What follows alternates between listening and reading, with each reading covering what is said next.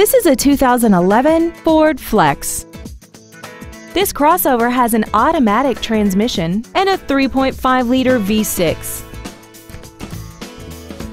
All of the following features are included. Commercial-free satellite radio, big 18-inch wheels, traction control and stability control systems, a six-speaker audio system, leather and alloy steering wheel trim, dusk sensing headlights, side curtain airbags, air conditioning, and this vehicle has less than 17,000 miles. Contact us today and schedule your opportunity to see this vehicle in person. Bill Alexander Ford Lincoln is dedicated to doing everything possible to ensure that the experience you have selecting your next vehicle is as pleasant as possible. We are located at 801 East 32nd Street in Yuma.